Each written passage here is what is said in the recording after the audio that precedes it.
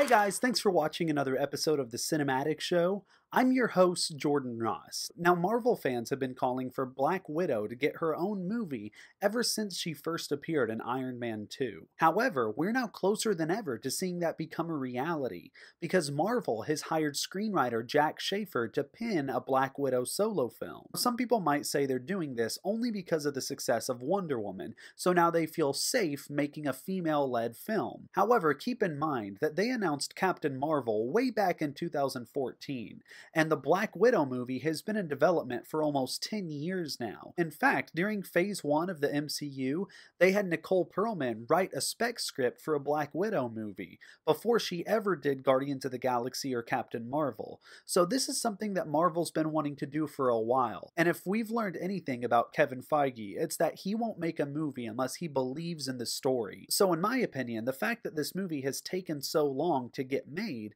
just tells me that they couldn't find a story that they wanted to tell. But thankfully that changed. According to Justin Kroll, Feige met with Scarlett Johansson back around Thanksgiving to discuss what direction they wanted to take this movie. And as soon as they found a story they both wanted to tell, they hired a screenwriter to write the script. So it seems like they're really serious about doing this movie. Plus, it makes a ton of sense. Back in 2016, Scarlett Johansson became the highest grossing actress ever. Anyway, since this movie is now in active development, I decided to make this video talking about what I want to see in a Black Widow movie. And first things first, I want this to have a female director, which it most likely will. And my number one choice is Michelle MacLaren, who directed some of the best episodes of Breaking Bad. And she was actually signed on to direct Wonder Woman before Patty Jenkins, so she's clearly shown an interest in exploring the superhero genre. Also, she's proven that she's more than capable of handling highly suspenseful moments that are inevitably going to come with a spy thriller. Another option would be Jennifer Kent, who directed The Babadook and was one of the top contenders to direct Captain Marvel. So clearly she's already on Marvel's radar, so those are two names I'd keep an eye on. Now, as far as the plot, a lot of people are speculating that this will be a prequel movie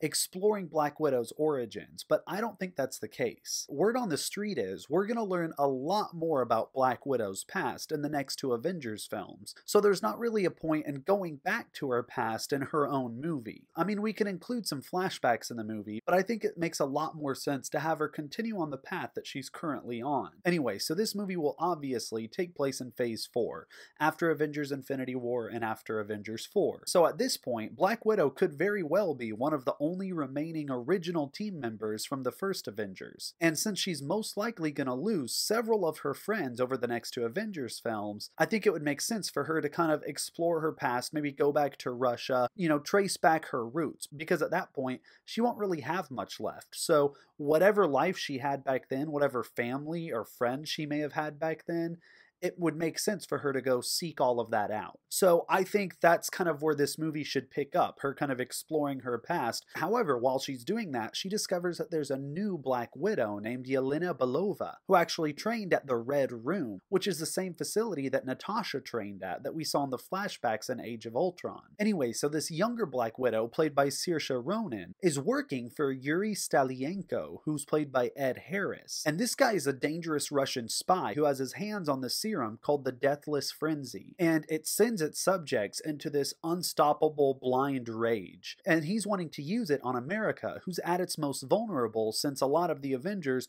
were killed in the last two Avengers films. So Natasha, once she catches wind of all of this, takes it upon herself to stop them. Since she was trained at the same place that this new Black Widow was trained, she feels like she's most qualified to handle this. However, before she can do that, she needs to go back to the Red Room, where it all started, and confront her former trainers, Madame B and Ivan Petrovich, and get the answers that she needs. And by the way, those two characters would be played by Helen Mirren and Donald Sutherland. Now, let me explain all of my casting choices for this. First of all, I picked Ronan because she's one of the best actresses of her generation, and she already showed off her action chops in Hanna, which is one of the best action films of this century. Then there's Madame B and Ivan Petrovich, who both appeared in the flashback in Age of Ultron, and in that they were played by Julie Delpy and Julian Bleach, but the events in those flashbacks took place about 20 years ago or so. So having Helen Mirren and Donald Sutherland, who are roughly 20 years older than the actors that played them before,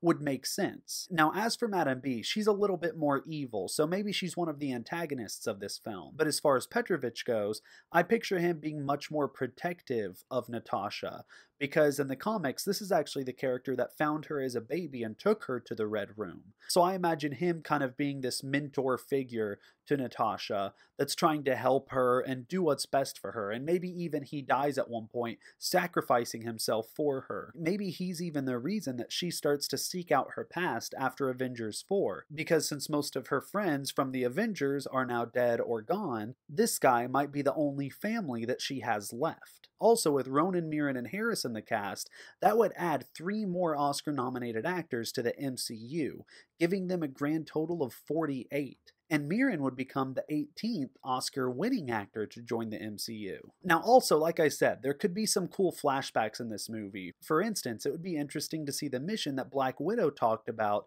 that involved the Winter Soldier. It would also be cool to see how she was recruited to S.H.I.E.L.D., which would be an opportunity for Nick Fury and Hawkeye to pop up as well. So there's potential to see some familiar faces in this movie without taking away from the fact that this is Black Widow's movie. Now, the story I came up with is kind of a combination of Widow versus Widow and the finely woven thread storylines from the comics. It would basically be like the MCU version of the Bourne movies. It also gives them a chance to introduce some other Russian characters from Marvel, like Gremlin or Crimson Dynamo or Red Guardian. There are plenty of heroes she could team up with and side villains that she could face throughout the film. There are a lot of possibilities. Anyway, what do you think of my ideas? Would you want to see that in a Black Widow movie, or do you have something else in mind? Let me know in the comments section. Also, be sure to hit that like button, subscribe to my channel, and follow me on all of my social media accounts, which you can find in the description section below. Thanks again for watching this episode of The CinemAddix Show. Until next time, I'm your host,